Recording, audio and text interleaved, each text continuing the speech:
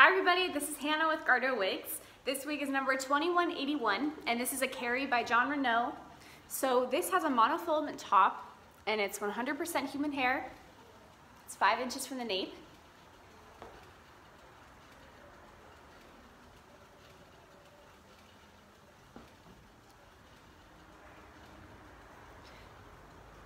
So this has a smart lace front on it, so it's hard to see, but there's a little lace front here.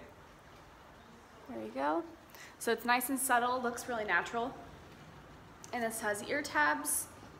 Here's the back again.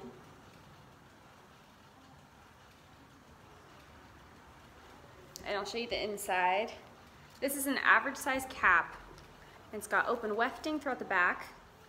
Here's the monotop from the inside. And so here's the smart lace front. And there's adjustable strap to the nape. It's an average size cap.